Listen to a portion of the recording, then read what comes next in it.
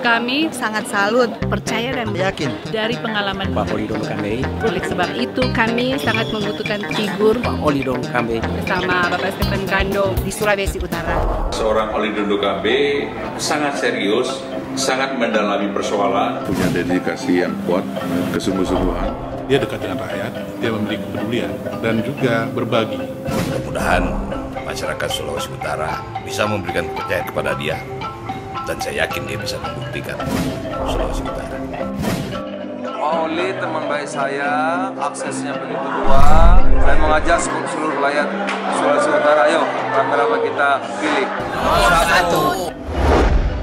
Jangan lupa tanggal 9 Desember